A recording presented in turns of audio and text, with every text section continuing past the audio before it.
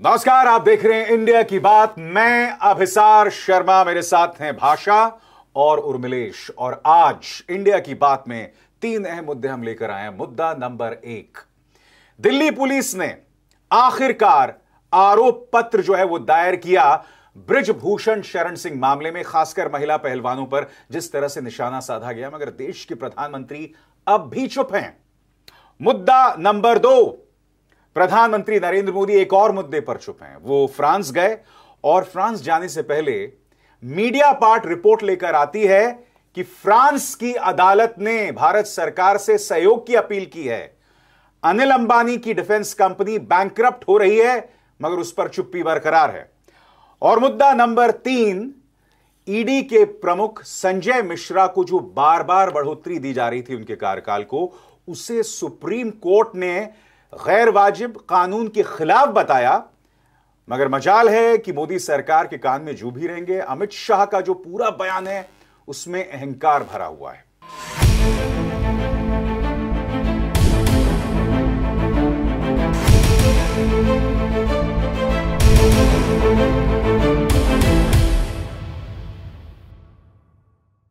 शुरुआत जो है हम करना चाहते हैं ब्रिजभूषण शरण सिंह वाले मुद्दे से दिल्ली पुलिस का जो आरोप पत्र सामने उभर कर आया है, वो बहुत शॉकिंग है, खासकर जो छह गवाहियाँ। ऐसा लग रहा था कि आप सत्तर, अस्सी या नब्बे की दशक की कोई हिंदी फ़िल्म देख रहे हैं, जहाँ खलनायक लड़कियों को परेशान कर रहा है और उसे रोकने वाला कोई नहीं है, कोई हीरो नहीं है, कोई नायक नहीं है। उसके अत्याचार का कोई अंत नहीं है। प्रधानमंत्री अब भी चुप हैं। इससे ज़्यादा शॉकिंग क्या हो सकता है? क्या है इस मुद्दे का पंच? बताएँगी भाषा।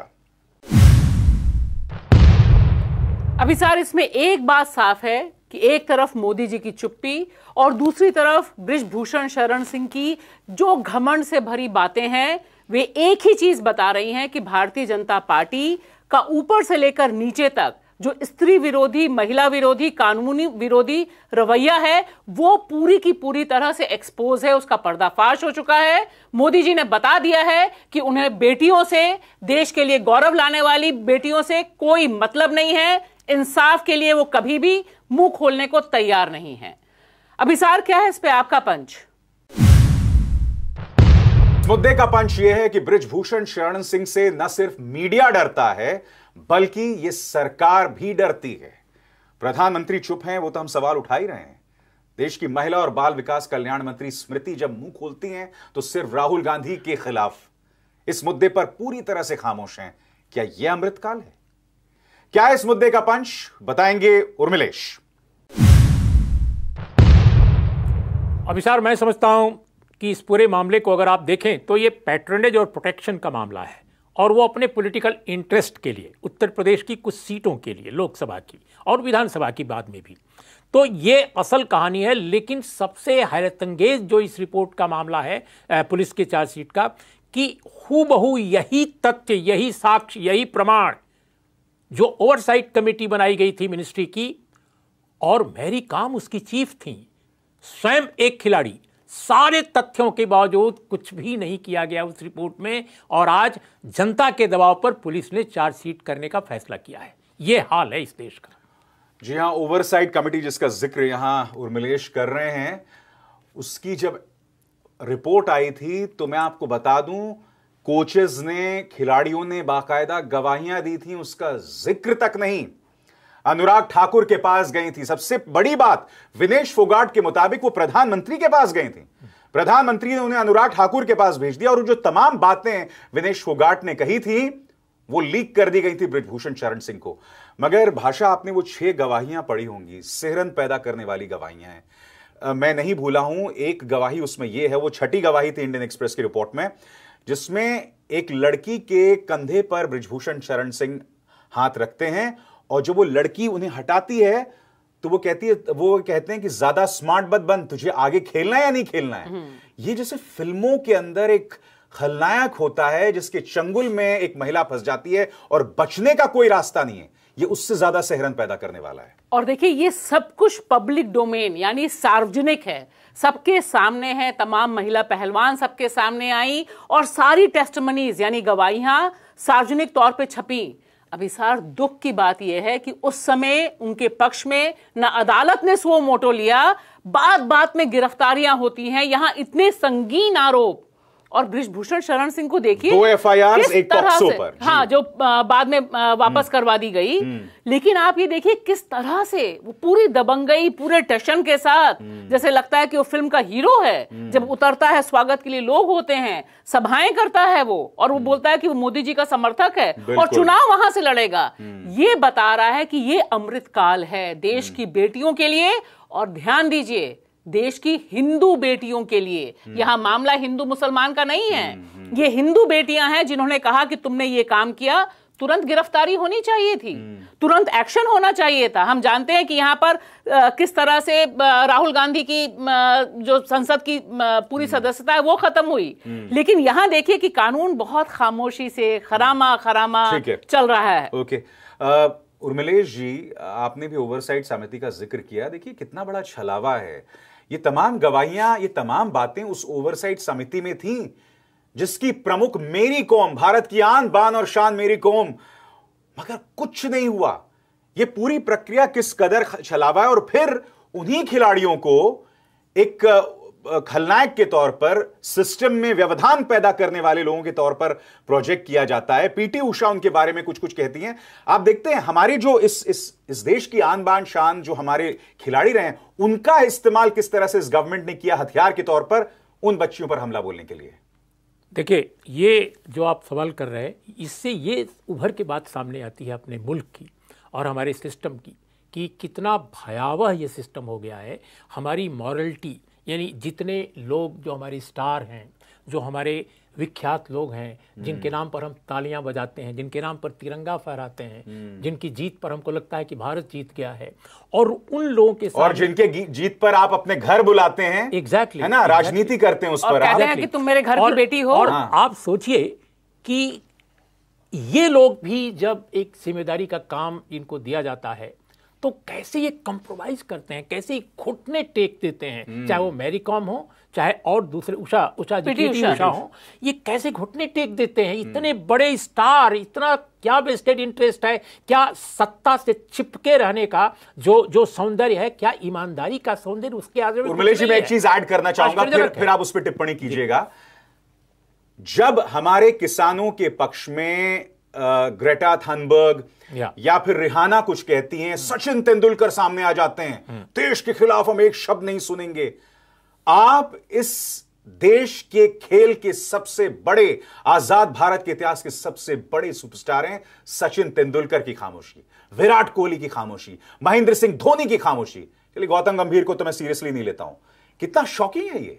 लेकिन फिर भी इसके बावजूद इतने इस रिजीम में भी इस तरह के माहौल में भी हमें खुशी इस बात की है कि कुछ एक स्टार्स जो हैं उन्होंने कम से कम।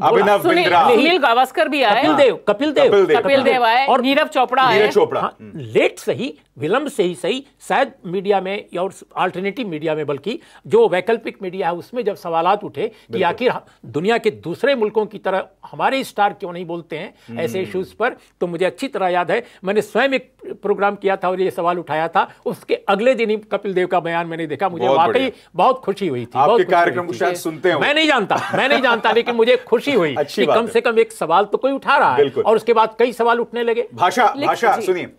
मैं ज़िक्र करना चाहूँगा देखिए उससे पता चलता है कि वो महिला खिलाड़ी महिला पहलवान किस तरह के खतरे में रही होंगी उस व्यक्ति के करीब। आपको वीडियो याद होगा टाइम्स नाउ का जहाँ एक पत्रकार जो हैं सवाल पूछ रही थी और बहुत ही बदतमीजी से ब्रिजभूषण कहते हैं चुप करके इस तरह से। और जब वो माइक लेके उनके कार के अंदर माइक डालती हैं तो आप उसे पीछे कर सकते थे। उस व्यक्ति ने ज़ोर से कार बंद कर दिया। उसका हाथ टूट सकता था। चांस की बात थी कि माइक गिर गया और वो हाथ बाहर नहीं आप आप सोचिए ये व्यक्ति किस तरह का बर्ताव महिला पहलवानों के साथ करता होगा प्राइवेट में प्राइवेसी में। ये इस व्यक्ति का खौफ दर्शाता है। हाँ और ये दिखाता है कि जब कैमरा आपके सामने है। और वो भी कैमरा मामूली कोई यूट्यूबर या न्यूज़ प्लेटफॉर्म्स उस तरह का नहीं। टाइम्स नाउ की रिपोर्टर है जो बार बार कह रही है। तो अब आप देखिए दरअसल मुद्दा यह है कि ब्रिजभूषण शरण सिंह ने यह बताया है कि भारतीय जनता पार्टी की जो राजनीति है वो दरअसल किस तरह से जरा से परेशान करने वाले सवाल पर बौखला जाती है। ये वही राजनीति है जब मोदी जी से अमेरिका में सवाल पूछा जाता है तो सवाल पूछने वाली महिला के खिलाफ यही ब्रिगेड यही ब्रिगेड उतरती है। सिमिलैरिटी है दोनों में। दोनों में साम, समानता है और ब्रिजभूषण शरण सिंह पर यह सवाल पूछना और उसका ये रौद्र रूप में सामने आना। भाई आपके ऊपर एफआईआर है। है। आपके ऊपर पुलिस एक एक्शन ले रही है। तमाम गवाहियों के बारे में बात कर रही है कि केस दर्ज होना चाहिए। उसके बाद ये स्थिति है। उर्मिलेश जी लेकिन उर्मिलेश देखिए जी महिला मैं एक एक सेकंड जो भाषा ने कहा उस पर एक कमेंट दो लाइन में कर दूँ इसके बाद। देखिए इसके बाद भी कि जब सारे मीडिया में लोगों ने प्रोटेस्ट किया बहुत सारे लोगों ने प्रोटेस्ट किया कि महिला रिपोर्टर के साथ क्यों? लेकिन महिला रिपोर्टर जिस संस्थान की थी मैं उसी पर आ रहा था। चीफ बिल्कुल। उसके सारे लोग खामोश एक ट्वीट भी नहीं आ रहा है जबकि वो अक्सर ट्वीट किया करते हैं ऐसे लोग। हर दिन दस मैं एक चीज़ और ऐड कर दूँ इसमें क्योंकि यही मेरा अगला सवाल था। कितना डर? उस दिन उस दिन उस चैनल ने आर्टिकल 370 पर डिबेट किया जी हाँ। बंगाल हिंसा पर डिबेट किया और करना भी चाहिए बंगाल हिंसा पर कि मैंने भी काफ़ी उस पर बोला है वो शॉकिंग है मगर एक न्यूज़ चैनल के लिए एक बाहुबली आपकी महिला रिपोर्टर का हाथ तक तोड़ देता है और चैनल की संपादक एक महिला हैं वो खामोश रहता है मीडिया किस कदर डरा देखिए है। अभिसार मैं यहाँ याद दिला दूँ कि यही नविका कुमार की हम बात कर रहे हैं। यही नविका कुमार जब अ, मामला दर्ज होता है पंजाब में एक महिला पत्रकार के साथ वो भी उनकी पत्रकार थी। बिल्कुल। तब वो वहाँ पहुँचती है पूरे कैमरे के साथ फोकस रहता है उसके आँसू है, आम आदमी पार्टी आम आदमी पार्टी है। तो हाँ। यहाँ जो ब्रिजभूषण शरण सिंह से खौफ है भारतीय जनता पार्टी के एक सांसद से इतना खौफ है कि उसका नाम लेने में डरते हैं यहाँ पर। जबकि आप वहाँ पे तो उस महिला को महिला पत्रकार को लेकर आए थे आपने पूरे स्टूडियो में शो किया। यहाँ तो महिला रिपोर्टर गायब ही है पता नहीं उसका आगे वो रिपोर्टिंग करने भेजेंगे भी कि नहीं या सोचेंगे कि नहीं, ब्रिजभूषण से आपने सवाल कैसे पूछ आपने बहुत वाजिब बात उठाई मैं इस मुद्दे को यहीं विराम देना चाहता हूँ। बहुत वाजिब बात उठाई मैं आपको एक छोटी सी मिसाल देना चाहूँगा। हाथरस पर एक महिला रिपोर्टर ने शानदार रिपोर्टिंग की थी। मैं आपको बतलाना चाहूँगा कि उसकी संस्था ने उसे फरमान जारी किया, काफ़ी दिनों तक उन्हें ऑफ़ रिपोर्टिंग रखा। तो आप जो बात कह रही हैं, मुझे हैरत नहीं होगी अगर ऐसा फरमान उस रिपोर्टर के खिलाफ भी जारी कर दिया जाता है। अब हम रुक करने वाले हैं अपने दूसरे मुद्दे का, जो बहुत अहम है। प्रधानमंत्री नरेंद्र मोदी फ्रांस में हैं, मगर उनके जाने से पहले फ्रांस की media company, media agency, media part की रिपोर्ट आती है, उसमें कई चीज़ों का ज़िक्र है। पहली बात अदालत ने भारत सरकार से सहयोग की अपील की है। क्यों? क्योंकि डासो, जिसके साथ समझौता है अनिल अंबानी की कंपनी के साथ, उस पर यह आरोप है कि उन्होंने एक बिचौलिए सुशेन गुप्ता को मिलियंस ऑफ़ डॉलर्स दिए। प्रधानमंत्री खामोश। और दूसरी तरफ़, अनिल अंबानी को टैक्स की छूट। खबर यह भी आ रही है कि उनकी जो डिफेंस रिलेटेड कंपनी वो बैंक हो गई है। कोई बात नहीं कर रहा है प्रधानमंत्री एक बार फिर खामोश। क्या इस मुद्दे का पंच? बताएँगे उर्मिलेश।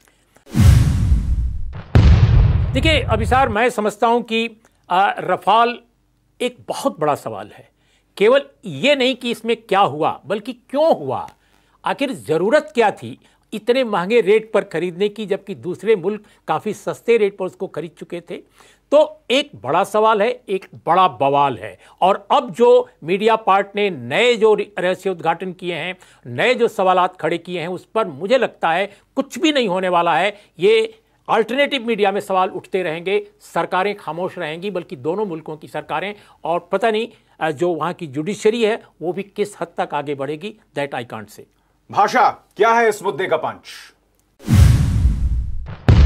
अभी सर, मुझे तो साफ़ दिखता है कि राफेल का जिन, मोदी सरकार का पीछा नहीं छोड़ रहा है, ना छोड़ेगा। और इसकी बहुत बड़ी वजह है कि इसकी जो पड़ताल चल रही है, वो भारत की सरजमी पे नहीं, विदेश की सरजमी पे चल रही है। और अनिल अंबानी की संस्था का, कंपनी का दिवालिया होने के कगार तक पहुँचने की खबर, इसे निश्चित तौर पर एक बहुत बड़े स्कैंडल में तब्दील कर रही है। मीडिया पार्ट की जो रिपोर्ट है, वो इतने गंभीर सवाल उठा रही है। मोदी जी की फ्रांस यात्रा पर राफेल का जिन हावी होता दिखाई दे रहा है। अभिसार, क्या है इस पे आपका पंच?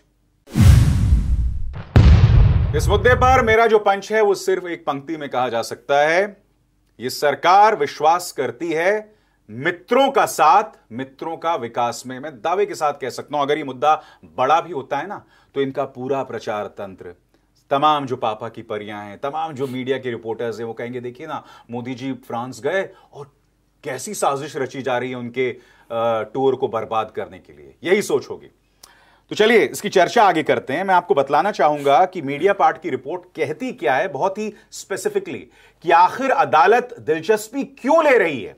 मैं कोट कर रहा हूँ, अंग्रेज़ी में पढ़ूँगा, और फिर मैं उसका हिंदी में अनुवाद करूँगा।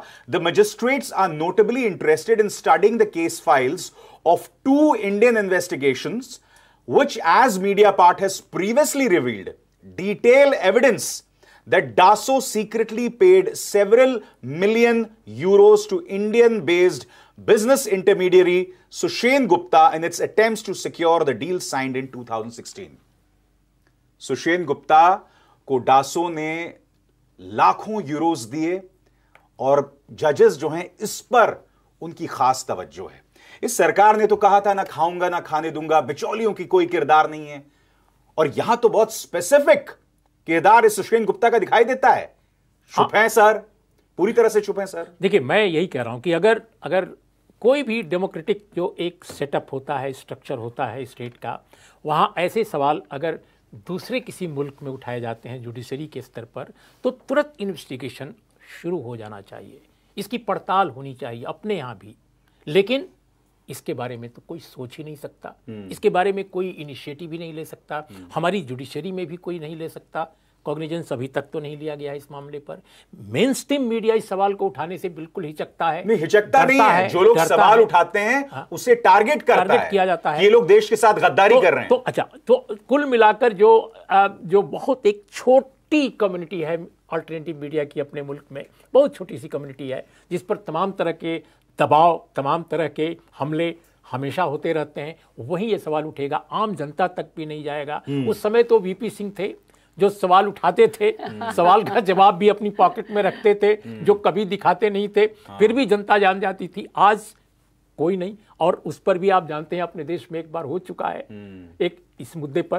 तो मुझे लगता है कि होना कुछ नहीं है तब तक जब तक कि हम वाकई डेमोक्रेटिक स्ट्रक्चर हमारा एक एक जीवंत नहीं बनता नहीं वो तो पूरी तरह से फंस चुका है। भाषा मीडिया पार्ट का जो ये रिपोर्ट है वो एक और चीज़ का ज़िक्र करता है कि किस तरह से अनिल अंबानी को टैक्स रियायत दी गई थी। हम्म। अब दो चीज़ें हो रही हैं। एक तो टैक्स में रिडक्शन दिया गया इसमें और दूसरी बात समानांतर तौर पर उनकी जो डिफेंस कंपनी है वो बैंक हो जाती है दिवालिया हो जाती है। मगर साहब मजाल है देश के प्रधानमंत्री इस पर अपनी चुप्पी तोड़े। नहीं वो चुप्पी बेचारे कैसे तोड़ सकते हैं? क्योंकि वो तो उनके साथ ही गए थे वहाँ पे। सारी डील आ, का नेतृत्व ही मोदी जी ने खुद किया था। और यहाँ मुझे लगता है बहुत ज़रूरी है याद करना कि राहुल गांधी ने इस कंपनी के बारे में क्या कहा था। उन्होंने अनिल अंबानी की कंपनी के बारे में कहा था कि वो तो कागज़ के एरोप्लेन नहीं बना सकती ये तो राफेल की बात है। हम्म। ये उनका कोटेड स्टेटमेंट है। हम्म। मैं यहाँ ये बात कहना चाहूँगी कि इसलिए मैं उर्मिलेश जी ने जब कहा कि इसका होना कुछ नहीं है लेकिन मेरा मानना है कि ये जिन पूरी तरह से बंद नहीं होगा। और देखिए जो टाइमिंग है इसकी ये बहुत सिग्निफिकेंट मगर भाजपा का प्रचार तंत्र तो ये कहता है कि भाई सुप्रीम कोर्ट ने खारिज कर दिया खारिज कर दिया लेकिन सवाल है कि फ्रांस के कोर्ट को आप सुप्रीम कोर्ट की तरह चुप नहीं करा सकते हम्म। ना? ये तो मामला वहाँ का मैजिस्ट्रेट कह रहा है। चाहिए कि सुप्रीम कोर्ट ने भी महज तकनीकी आधार पर जो है उसकी उसकी जाँच में नहीं घुसा है वो। जाँच में नहीं घुसा नहीं मैं दूसरी बात कह रही हूँ कि यहाँ पर अगर फ्रांस का एक मैजिस्ट्रेट कह रहा है कि भारत सरकार आप सहयोग कीजिए हम आपसे हम्म। सहयोग मांग रहे हैं। हम्म। क्यों?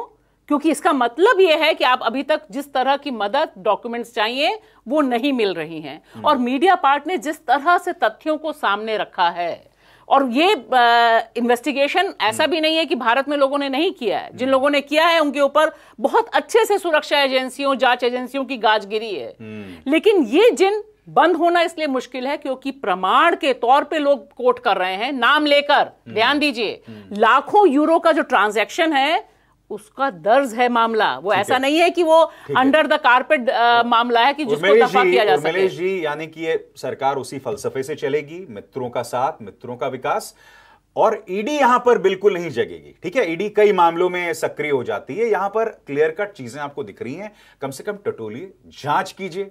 चाहे अडानी का पहले जो विदेशी ज़मीन पर शेल कंपनीज़ की बात हो या फिर यह मामला यहाँ पर यहाँ पर ईडी ईडी पूरी तरह से खामोश रहेगी कुछ नहीं करेगी।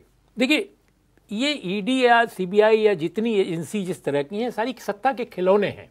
और सत्ता जिस तरह से उनकी उनको उनके बटन दबाएगी उसी तरह से वो डांस करेंगे उसी तरह से वो नाचेंगे। किस पर लगाना है किस पर नहीं लगाना है किस पर खामोश रहना है ये सब तय हो रहा है एक जगह से। तो जब उनको कोई संवैधानिक अधिकार ही नहीं है उनको इंडिपेंडेंस नहीं है उनकी ऑटोनमी ही आप खत्म कर देंगे। मैं बार बार इसीलिए कह रहा हूँ कि अपने देश में मौजूदा जो स्ट्रक्चर है उसमें जब तक हम डेमोक्रेसी को वापस नहीं लाते हालाँकि भारत में डेमोक्रेसी कभी मज़बूत नहीं थी इवन कांग्रेस रिजीम में भी। कोई ऐसा नहीं है कि ये लेकिन आज का जो हाल है वो पहले कभी नहीं था। पहले कभी नहीं था इमरजेंसी में भी नहीं मैं एक बहुत त्वरित सवाल आप दोनों से पूछना चाहता हूँ। क्या यह चुनावी मुद्दा बन सकता है? क्योंकि 2019 में तो नहीं बन पाया। नहीं मुझे नहीं लगता कि ये चुनावी मुद्दा बनेगा क्योंकि अब इस समय भारतीय जनता पार्टी ने यह पहल हासिल की है बढ़त हासिल की है जिसे वो भ्रष्टाचारी कहते हैं उसी को भ्रष्टाचारी माना जाता है पूरा सिस्टम उसी को मानता है। यहाँ पर ये भ्रष्टाचार का मुद्दा अब बनना मुश्किल है। क्या ये चुनावी मुद्दा बन सकता है? नहीं बनेगा क्योंकि देखिए मेन स्ट्रीम मीडिया अगर इस बात को नहीं उठाता है तो कैसे बनेगा पहली बात। और दूसरी बात कि जनता को इस तरह के इश्यूज़ पर ज़्यादा भरोसा नहीं रह गया है चाहे जितने सच्चे हों हम्म। जितने इसमें वाजिब जेनविननेस हो। असल कहानी उसकी है बेरोजगारी। हम्म। उसकी असल चीज़ है महँगाई। उसकी हम्म। असल चीज़ है सत्ता का आतंक। उसकी हम्म। असल चीज़ है जो गुंडागर्दी कराई जा रही है गवर्नमेंट एजेंसियों के स्तर पर पूरे कई ऐसे राज्यों में जो भाजपा के गढ़ हैं। तो इन चीज़ों पर अभी मध्य प्रदेश में हमने क्या देखा? उत्तर प्रदेश में हम क्या देख रहे हैं? असल सवाल यह है जिन पर चुनाव लड़ा जाना चाहिए और चुनाव लड़ा जा सकता है। बशर्ते की पार्टियाँ कोशिश करें। चलिए, अब हम रुक करेंगे अपने तीसरे अहम मुद्दे का और वो तीसरा अहम मुद्दा है सुप्रीम कोर्ट का वो फैसला जिसमें उन्होंने ईडी प्रमुख संजय मिश्रा को के कार्यकाल को जिस तरह से बढ़ाया जा रहा था 2021 से उसे कानून के खिलाफ बताया। मगर दिलचस्प बात यह है कि उस फैसले के आने के बाद सरकार अपनी गलती मानना तो दूर, उल्टा अमित शाह उग्र होकर एक अहंकार वाले भाव में यह तक कहते हैं कि भाई सीवीसी में जो हमने संशोधन किया था सीवीसी एक्ट में, उसके तहत अब भी ताकत हमारे हाथ में है। कुछ नहीं बिगाड़ सकते आप हमारा। क्या इस खबर का पंच? भाषा। देखिए, अभी सर, एक बात साफ़ है कि झटका लगा है, थोड़ा झटका लगा है काम हुआ है, अधूरा काम हुआ है, क्योंकि बहुत अहम बात है कि ईडी के टेन्योर की बात तो की आपने, लेकिन ईडी की जो पावर्स को लेकर लगातार देश भर में चिंता है, विपक्ष और लोकतंत्र के पक्ष में लोगों को चिंता है, उस पर आप पूरी तरह से चुप्पी साधे रहते हैं और शायद यही वजह है कि देश के गृह मंत्री खुलकर तुरंत कहते हैं कि हम पर कोई एडवर्स कमेंट कोई प्रतिकूल टिप्पणी सुप्रीम कोर्ट ने नहीं की है, यह काम सुप्रीम कोर्ट को करना चाहिए था। अभी सर क्या है इस पे आपका पंच? इस, इस मुद्दे पर मेरा पंच यह है कि संजय मिश्रा जैसे नौकरशाह आधुनिक भारत वो भारत जिसे न्यू इंडिया कहा जा रहा है अमृतकाल वाला भारत उसकी हकीकत है। और सबसे शॉकिंग था अमित शाह साहब का जिस तरह से जिस भाव में उन्होंने कहा कि ये हमारे लिए झटका नहीं है जबकि अगर कायदे से देखा जाए तो 2021 के बाद जितने भी फैसले संजय मिश्रा के नेतृत्व में हुए वो सब फैसलों पर सवालिया निशान है। मगर सुप्रीम कोर्ट का किरदार भी अपने आप में कई सवाल खड़े कर रहा है, जिसकी हम चर्चा आगे करेंगे। आप बताइए, क्या इस मुद्दे का पंच उर्मिलेश जी? देखिए, पहली बात तो ये है कि जितनी याचिकाएँ दायर की गई थी, उसमें कई अन्य सवाल भी उठाए गए थे जो बहुत ही वाजिब, बहुत ही रिलेवेंट और महत्वपूर्ण है। तो पहली चीज़ तो सुप्रीम कोर्ट ने उस पर कोई फैसला नहीं किया, बल्कि इंडोर्स ही कर दिया, जैसे पाँच साल का कार्यकाल इस पर भी नहीं किया। दूसरी बात जो मैं कहना चाहता हूँ कि देखिए, जितनी इस तरह की एजेंसीज हैं, उसके लिए पार्लियामेंट ऑफ़ इंडिया की जो कमेटी, संबद्ध मंत्रालयों की हैं, उनकी निगरानी में काम होना चाहिए। जब तक ये प्रावधान नहीं किया जाता है, मैं समझता हूँ कि ये इंडिपेंडेंट होकर काम नहीं कर पाएँगी। भाषा ये न्यू इंडिया है कि चलिए, हम हम सब मान रहे हैं कि वो न्याय हुआ है मगर अधूरा है। सीवीसी की पावर्स जो हैं, वो अभी भी केंद्र सरकार के हाथ में है उस संशोधन के बाद। मगर मुझे जो ताज्जुब लगा कि भाई, सुप्रीम कोर्ट ने यह भी कहा है कि आगे से आप बढ़ाओगे किसी का कार्यकाल तो हमें वाजिब वजह बताइएगा। मगर देश के गृहमंत्री चुप रह सकते थे। वो सामने आते हैं विपक्ष को ताना देते हैं। और हकीकत यह ये वो ईडी है जो अगर 100 केसेस करते हैं तो 95 केसेस जो होते हैं विपक्ष और आलोचकों के खिलाफ होते हैं। अजीब मतलब अमृतकाल वाला इंडिया है कि जिस मुद्दे पर आपको अपनी गलती माननी चाहिए उस पर आपका अहंकार सामने उभर नहीं और उस पर यह भी साबित कर रहे हैं जो हाईकोर्ट में भी इन्होंने कहा कि भाई ईडी के पास ताकत नहीं होगी तो हम भ्रष्टाचार खत्म नहीं कर सकते। तो एक चीज़ बहुत साफ़ हो गई अभी सारे इस पूरे डेवलपमेंट से और मुझे जो सबसे ज़्यादा दुख और परेशानी है कि ईडी के जिस तरह का अधिकार क्षेत्र बढ़ाया गया था जिस तरह से वो एक पॉलिटिकल वेपन के तौर पर काम कर रही है राजनीतिक औज़ार के तौर पर वो आ, काम करती हुई दिखाई दे रही है बच्चा बच्चा जानता है हम्म। उस पर कोई हस्तक्षेप मैं कह रही हूँ यहाँ पर ऑब्जर्वेशन तक सुप्रीम कोर्ट ने नहीं दिया हम्म। क्योंकि ये सारी चीज़ें आपके पास थी और इस समय जो विडंबना है कि इन तमाम सवालों के लिए हमारे पास सुप्रीम कोर्ट जाने के अलावा कोई और जगह नहीं बची आप जाएँगे तो कहाँ जाएँगे तो और इसीलिए देखिए जो हम्म। अमित शाह का कमेंट है हम्म। वो देश के गृह मंत्री हैं हम्म। गृह मंत्री सुप्रीम कोर्ट के एक फैसले पे कमेंट करते हैं और जिस तरह से वो बताते हैं कि हम और ताकतवर हैं और जो पावर है उस पर कुछ नहीं किया यानी हाँ। हम अभी और जलवा दिखाएँगे क्या सुप्रीम कोर्ट ने इन बुनियादी मुद्दों को संबोधित ना करके ये किस्म का एक्ट ऑफ़ बैलेंसिंग चल रही है। क्योंकि ये बात तो किसी को हजम नहीं होती ना। आप एक तरफ़ कहते हैं कि 2021 के बाद जो उनकी जो कार्यकाल बढ़ाया गया, वो पूरी तरह से गैर वाजिब है। तो स्वाभाविक सी बात है। हालाँकि सुप्रीम कोर्ट ने नहीं कहा है। उन्होंने जो फैसले लिए हैं, उन पर भी एक सवालिया निशान है। मगर फिर जिस जिस एक्ट के अंतर्गत, जिस एक्ट के संशोधन के अंतर्गत आपने फैसले लिए थे, उस पर आप चुप रहते हैं, उसे आप खारिज कर देते हैं। तो ये सुप्रीम कोर्ट का बैलेंसिंग और एक्ट मुझे तो समझ नहीं आ रहा है। नहीं देखिए Abhisar Supreme Court of India का जो एक्ट है या उसका जो काम काज है तरीका है उस पर मैं ज़्यादा टिप्पणी न करके हम्म।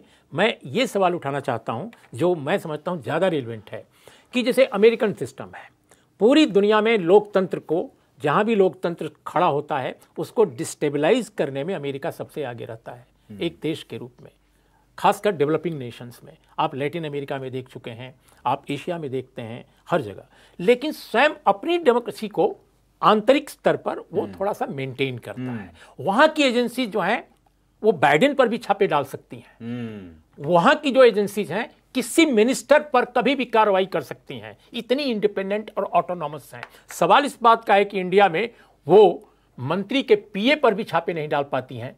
मंत्री के पीए तो छोड़िए पीए तो बड़ी चीज़ है शायद उसके ड्राइवर के खिलाफ भी कोई मामला आएगा कोई कोई फौजदारी केस तो भी कुछ नहीं उसका होगा हम्म। ये हाल हो गया है तो ये क्यों क्योंकि हमारे अंदर हमारे स्ट्रक्चर में डेमोक्रेसी का लोप हो गया है हम्म। और स्टेट का जो रोल है हम्म। वो स्टेट अपना रोल अदा ही नहीं कर रहा है स्टेट जो है व्यक्ति केंद्रित हो गया है पार्टी केंद्रित हो गया है और वो जितने स्टेट के और अंग हैं वो कुछ लोगों तक सीमित हो गए मेरा बस ये कहना है कि इसका एक ही उपाय है भारत जैसे डेमोक्रेसी में कि जो स्टैंडिंग कमेटी पार्लियामेंट की हैं अलग हम्म। अलग मंत्रालयों की हम्म। उनको ज़िम्मेदारी दी जाए जिस तरह से पार्लियामेंट्री सिस्टम में अमेरिका में है जिस तरह और दुनिया के देशों में है। जब तक ये नहीं किया जाएगा सुप्रीम कोर्ट के आश्रय आप नहीं कर सकते हैं। पार्लियामेंट के के साथ क्या फ़ायदा है। कि हर पार्टियाँ रिप्रेजेंट करती हैं स्टैंडिंग कमेटी में। हम्म, अगर एक स्टैंडिंग कमेटी की निगरानी तो आज तक स्टैंडिंग कमेटी का कोई भी ऐसा ऐतिहासिक फैसला नहीं दिखाई दिया। उर्मिलेश जी जिसने ज़मीन पर बुनियादी मुद्दों पर राजनीतिक असर डाला होगा आप समझाएँगे हमारे दर्शकों मैं बता दूँ। जी देखिए इसकी वजह यह है कि स्टैंडिंग कमेटी जो हमारी है वंडरफुल एक्सलेंट उनका वर्क है। हम्म। अगर आप उनकी एक सेकंड एक सेकंड हम्म। उनकी रिपोर्ट्स अगर देखिए हमारी स्टैंडिंग कमेटी ने बेहतरीन रिपोर्ट्स दी है। गवर्नमेंट ऑफ़ इंडिया ने उनका उनको कग्निजेंस नहीं लिया उनको एग्जीक्यूट करने की कोशिश नहीं की। जैसे उदाहरण के तौर पे लेटेस्ट डिस्कस अबाउट मी या वन सेकेंड मीडिया पर 2012 या 13 में जो उस समय इंफॉर्मेशन टेक्नोलॉजी की मिनिस्ट्री थी उसकी जो स्टैंडिंग कमेटी आई आप कल्पना नहीं कर सकते हैं कि मीडिया के ऑटोनॉमी को लेकर मीडिया के फ्रीडम को लेकर उतरी बेहतरीन रिपोर्ट आज़ाद भारत में मैंने कम से कम नहीं देखी। लेकिन उस पर काम ही नहीं किया गया। क्यों? क्योंकि कोर्ट ने काम नहीं किया सरकार ने काम नहीं किया लेकिन ने काम नहीं किया। इसका मतलब ये हुआ देखिए मुद्दा सिर्फ़ यहाँ बीजेपी का सरकार का नहीं है। पुरानी सरकारों ने भी स्टैंडिंग कमेटी की रिपोर्ट्स को कोई तवज्जो नहीं, नहीं दी है। नहीं, मैं, मेरा दूसरा मानना है कि ये जो प्रोसेस है सोचने का कि यहाँ से तब्दीली होगी यहाँ से तब्दीली होना आज के दौर में जब हम बात कर रहे हैं संगोल युग है हम्म। राजदंड का युग है ये राजशाही का पूरा वातावरण है उसमें यह मान लेना कि पार्लियामेंट्री स्टैंडिंग कमेटी कुछ करेगी। मैं खाली एक घटना बताती हूँ स्टैंडिंग कमेटी की बैठक उस समय हुई जिस समय ब्रिजभूषण के खिलाफ धरना प्रदर्शन चल रहा था। हम्म। उसको उसमें खुद ब्रिजभूषण शरण सिंह थे। नरेगा पर बैठक थी नरेगा की स्टैंडिंग कमेटी थी। तो ये जो विडंबनाएँ हैं सवाल बहुत सीधा है कि सिस्टम में अकाउंटेबिलिटी इस समय सुप्रीम कोर्ट की थी। सुप्रीम कोर्ट से एक न्याय की उम्मीद आपको इसलिए है क्योंकि वही आखिरी हमारे लिए दरवाज़ा है जहाँ से न्याय और संविधान और लोकतंत्र को बचाने की छुटपुट पहल हो सकती है, है। जिसमें और आखिरी सवाल दोनों से त्वरित क्या हम ये मान के चलें कि जो जाँच एजेंसीज हैं चाहे वो ईडी हो या इनकम टैक्स इनका ये सबसे बड़ा संकट काल अपने न्यूनतम स्तर पर है ये एजेंसीज। इसमें कोई दो राय नहीं हम्म। ये जी बहुत ही बुरा दौर है हम्म। खासकर एजेंसीज के लिए आप बताइए मेरा मानना है कि ये पॉलिटिकल जो मैंने कहा भी कि ये पॉलिटिकल औज़ार हैं हम्म। विपक्ष को भारतीय लोकतंत्र को विपक्षहीन करने के लिए ये काम कर रहे हैं और मुझे लगता है आने वाले छह महीने और ज़्यादा ब्रूटल होंगे और ज़्यादा पर्दाफाश मतलब कोई भी पर्दे की ज़रूरत ही नहीं पड़ेगी जब ये काम कर रही होंगी कि विपक्ष को किस तरह से जनता जनता इसको अपना साथ देगी और मीडिया तो साथ दे ही रहा है। बहुत बहुत शुक्रिया उर्मिलेश और भाषा इंडिया की बात में शरीक होने के लिए। अभिसार को दीजिए इजाज़त। नमस्कार।